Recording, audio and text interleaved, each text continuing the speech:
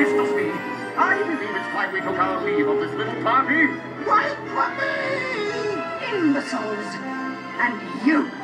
You may have the power of dreams on your side this time, but just you wait. One day the kingdom will stop believing, then all will be lost. Remember, you haven't seen the last of me!